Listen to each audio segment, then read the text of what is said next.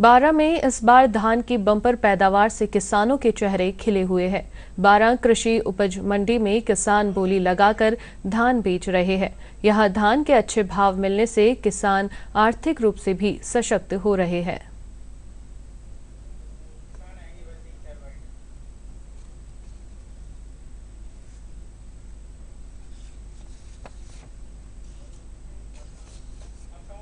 बीस कुंटल और दानेश्वर आठ और दस के बीच में निकली है। हाँ, और खाद की बहुत किल्लत है। सब किसान बहुत परेशान है खाद के चक्कर में। और वैसे बहुत उस बार से पहले का दाम ज़्यादा मिल रहा है इस बार जलवायु परिवर्तन नहीं हुआ सर।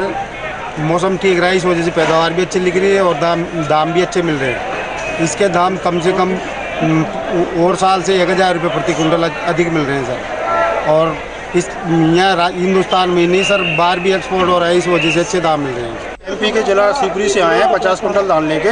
भाव ठीक चल रहा है धान का और आठ से दस कुंटल प्रति बीघा निकल रही है धान। इस वर्ष धान की आवक प्रतिदिन बारह मंडी में पचास से साठ हज़ार बोरी की आवक हो रही है।